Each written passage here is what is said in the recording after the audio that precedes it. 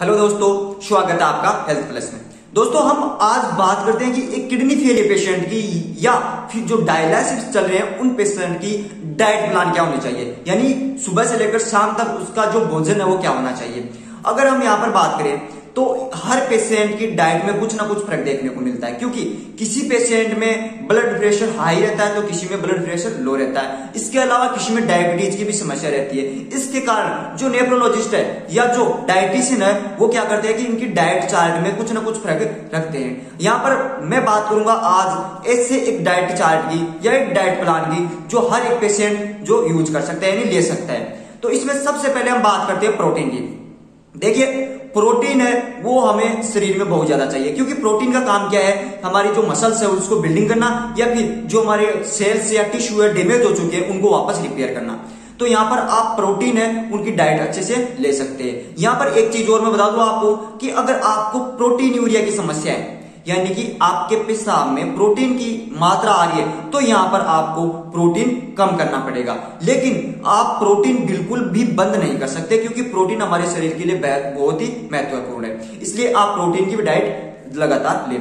आप प्रोटीन में ज़्यादातर अंडा खा सकते हैं। यानी कि अंडे का जो सफ़ेद वाला भाग होता है, वो ले सकते हैं। और इसमें जो येलो पार्ट है, उसको आपको बिल्कुल नहीं खाना है, क्योंकि इसमें पोटेशियम की मात्रा बहुत ज़्यादा पाई जाती है। इसके अलावा आप सोयाबीन की सब्ज़ी खा सकते हैं, या फिर यूँ कहें तो आप पनीर होता है, उसमें भी अच्छी मात्रा में प्रोटीन होता है तो वो भी आप ले सकते हैं। दूसरा है यहाँ पे नमक की डाइट यानी कि जो साल्ट होता है, उसकी डाइट नमक आपको बहुत कम मात्रा में लेना है। क्योंकि नमक की वजह से क्या होता है कि आपका जो ब्लड प्रेशर है, वो और ज़्यादा हाई हो जाता है, जिसके कारण आपकी किडनी डैमेज होने की जो कैपेसिटी है, यानी जो क्षमता है, वो और ज़्यादा हो जाती है। जो स्पीड है आप, यानी आपकी जो किडनी डैमेज हो रही है, उसकी जो स्पीड है, वो और ज़्यादा बेहतर हो जाती है। इसलिए आपको नमक की डाइट भी बिल्कुल कम लेनी है। इसके अलावा क्या होता है कि जो हमारे शरीर में पानी होता है, उसको वापस रिटेंशन करता है नमक। तो आपके शरीर में ज़्यादा नमक की वजह से सूजन भी देखने को मिल सकती है। इसलिए आपको जहाँ तक हो सके नमक को अवॉइड करना है।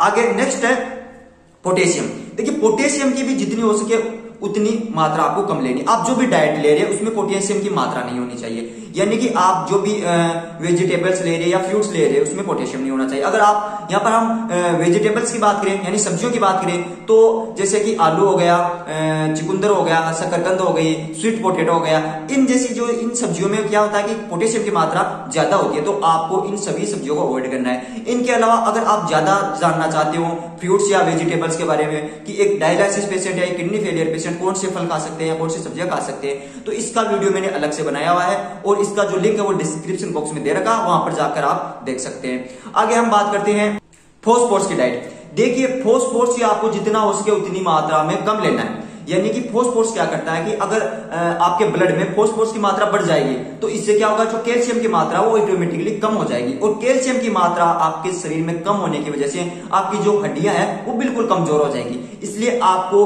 फोस्फोर्स की मात्रा भी बिल्कुल कम लेनी है। अगर हम यहाँ पर बात करें तो जो भी डेयरी प्रोडक्ट है, यानी कि छाछ हो गया दही हो गया, या जो भी डेयरी प्रोडक्ट आते हैं ना, या इसके अलावा जैसे मटन हो गया चिकन हो गया, ये सब कुछ आपको अवॉइड करना है, क्योंकि इनमें जो फोर्स की मात्रा है, वो बहुत ज़्यादा पाई जाती है। यहाँ पर अगर हम नेक्स्ट देखें तो शुगर वाली डाइट देखिए शुगर भी आपको बिल्कुल कम लेना है, क्योंकि किसी में क्या होता है कि डायबिटीज़ की समस्या रहती है तो किसी में डायबिटीज़ भी नहीं होती है तो उसमें क्या होता है किडनी फेल होने के बाद जो डायबिटीज़ होने के सबसे ज़्यादा चांसेस होते हैं। इसलिए आपको डायबिटीज़ वाली जो भी डाइट है, वो नहीं लेनी है। यानी जिसमें ज़्यादा शुगर की मात्रा पाई जाती है, उस डाइट को आपको अवॉइड करना है। इसमें आगे जैसे जूस आ गया या फिर अगर बात करें स्वीट पोटेटो आ गया, इसमें भी शुगर की मात्रा बहुत ज़्यादा होती है।